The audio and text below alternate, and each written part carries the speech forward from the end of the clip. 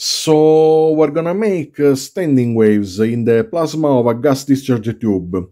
These standing waves are uh, visible as uh, spheres, knots inside the tube, and it's basically the ionized gas that organizes in concentrated, concentrated spots thanks to a, resonance inside the tube, a linear resonance also linked to the length of the tube.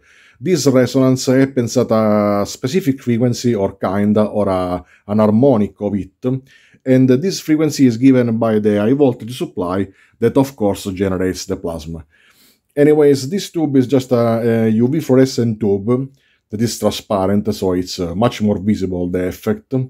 And uh, you have maybe seen this effect of the spheres or chains or of, of spheres inside a discharge tube uh, when put near a Tesla coil or an uh, high voltage supply, but now we're gonna generate them on purpose. So what you need for uh, doing this experiment? Evidently you need an uh, AC flyback, this is from a Tube TV, I just love it, it's uh, so amazing this one here, and uh, this is of course capable of being driven at uh, high audio frequencies and it's capable of like 20 30 kilovolts maximum but uh, now we don't need uh, a so high voltage just maybe a pair of kilovolts. So whatever uh, AC flyback even uh, uh, hand wound is perfect. And you need a driver for our flyback and this driver must have adjustable frequency like in this case I have here these two knobs here fine and coarse because you can't use a resonant driver uh, for the flyback because otherwise you will never find the correct frequency for coming up with the standing waves. Anyways, this driver is a wimpy driver I made some time ago and it's an half bridge uh, bootstrap mod and uh, you can see the description of this driver with the schematic in this video here and there are also some experiments with high voltage and stuff. Okay, let's try this thing. Now the uh, logic section of the driver is on, as you can see. The logic section is powered through uh, 20 volts DC from here. And the energy supply instead is off. We have a frequency meter that is already reading uh, kinda 32 kilohertz. The energy supply is given by my adjustable power supply. You see these uh, 2 and something volts here but the power supply is off. These volts are coming from the uh, logic section here and uh, it's present because this uh, driver is kinda weird. And in fact uh, those two volts are turning on slightly our tube. And I have here this UV uh, test card and if you uh, watch closely you can see the uh, UVC test area is already showing a bit. Okay, but the UV test area isn't showing because the power is too low. Okay, let's turn on the energy supply. Okay, now the tube is on yeah, I know this isn't uh, much safe because this uh, gives out uh, UVC rays and also ozone, but uh, we are at kind of 2 watts, uh, so it's basically at uh, so low power that is harmless. Anyways, okay, the multimeter turned off. That's amazing.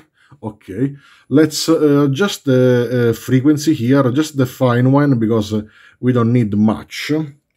And let's see the frequency and the tube. Okay. It should happen kinda 17 and something kilohertz.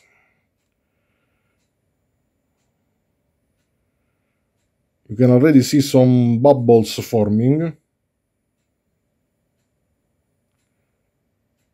Maybe an high frequency hiss, if you can hear it. And here it is. It's a bit unstable.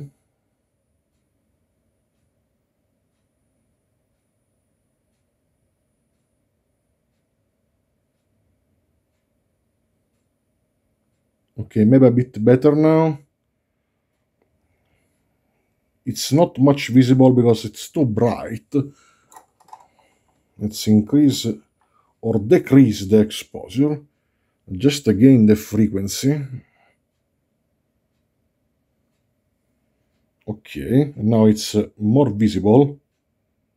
And these are uh, the bubbles, the spheres, for the standing waves. It's a bit unstable. A lot of things change because of the, probably because of the temperature of the gas inside the tube.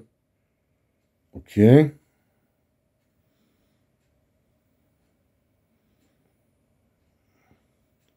It's still too bright. Okay, now basically what you see is what I see in terms of the exposure. Still a bit unstable.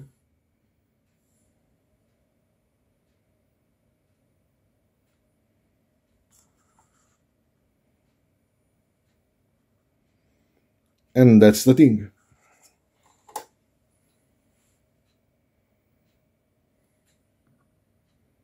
Before it was more stable. Damn it! Okay.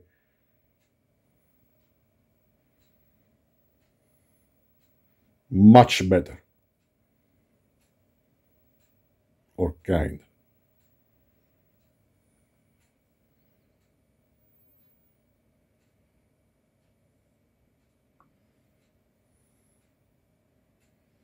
Let's see the test card. Hmm. Not much UVs. The UV test area isn't showing almost at all. I can I can just barely see it. The UVC test area instead is showing. Okay. So just another bit the frequency because it drifts. And here it is again. Okay. So why I made uh, this experiment? The truth is that uh, I was asking uh, ChatGPT uh, to give me ideas about uh, projects, electronic projects, uh, hopefully with high voltage, vacuum tubes, um, etc. And I asked it so many times, and at some point um, it said something about uh, resonant discharge tubes or something, and uh, I remembered um, standing waves. Uh, so I asked it again and again about standing waves in plasma tubes, etc and uh, it gave me some ideas and some theory and uh, also at the end also a calc for coming up uh, with a, a theoretical resonant frequency for a 15 uh, centimeters tube that I don't have anyways because I was, I was thinking about a smaller tube. Anyways, uh, this is the story. And uh, actually ChatGPT helped me making this experiment, but mostly is because I already knew kinda how this works, basically. So thanks for having watched my video and you know I'll always be loyal with you it's a mutual respect. Thank you.